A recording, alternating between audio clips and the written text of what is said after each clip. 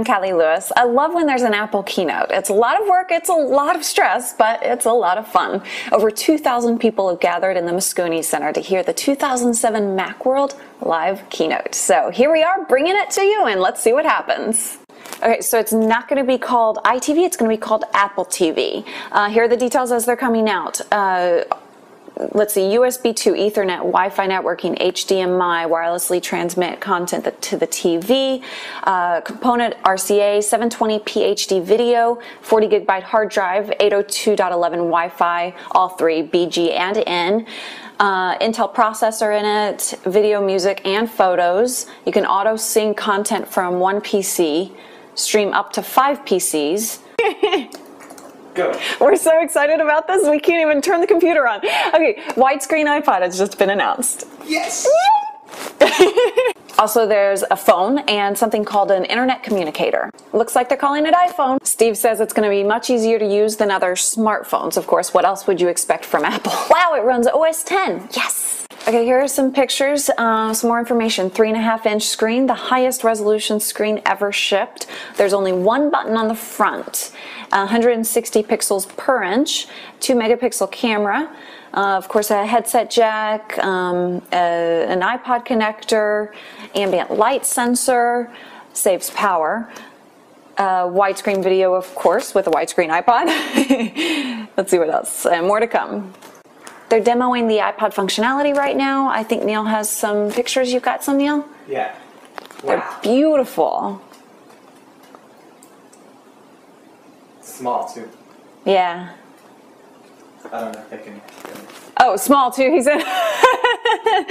um, lots of pictures coming out. Um, oh, did you get the one with the calendar and context and all that? Yeah.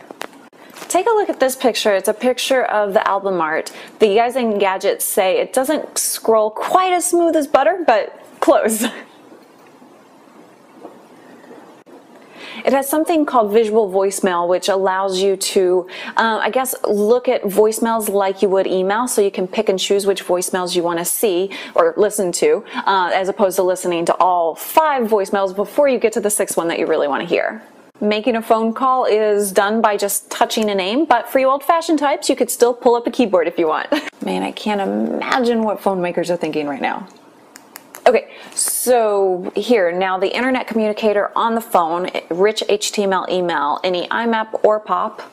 And that's all I have for now. This is just like Jeff Han's research, a multi-touch interface. You can resize a picture with two fingers, make it bigger or smaller. Very cool. It has GPS built in and tight integration with Google Maps, so you can find a Starbucks nearby and touch it and it calls it. And also you can use that multi-touch interface, zoom in, zoom out with a touch of your fingers. So an internet communicator, an iPod, and a phone. Let's put them all together and see what you can do in a real life scenario. So he's on the, or he's actually listening to music. A call comes in, the music fades out, and they talk. So what's it going to cost? The four gigabyte model will be $4.99, and the eight gigabyte model will be $5.99, and it ships in June. Unfortunately, we have to wait that long. wow, they've changed their name to Apple Inc., not Apple Computer anymore, because they're no longer just a computer company. I really, really, really want to thank Engadget and MacRumors Live. All the pictures we used came from Engadget. Thank you guys for doing such a great job covering this. I've got to wrap this up because I've got to head over to MSNBC and talk about, I guess, the iPhone. I'm probably to miss the one more thing. Hmm.